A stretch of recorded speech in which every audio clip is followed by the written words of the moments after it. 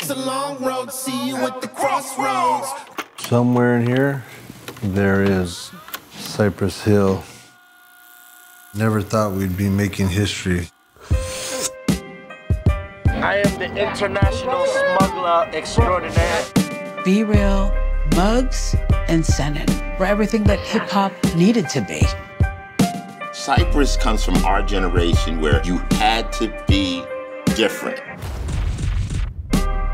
The music wasn't so big yet. Cypress Hill came and just kind of kicked that door in.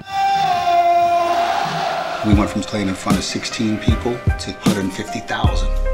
They were like beautiful train wrecks. The sound of marijuana is Cypress Hill. It was very taboo to talk about it at the time.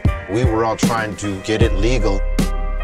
Yo, y'all gotta be the Cheech and Chong of this motherfucker. No extra charge, Cypress Hill. Cypress Hill comes out. Not only were they Latin, they representing the Latin culture on the West Coast. Cypress Hill went deeper into it like few hip hoppers have ever gone before. We will hit you like this. They transcended hip hop.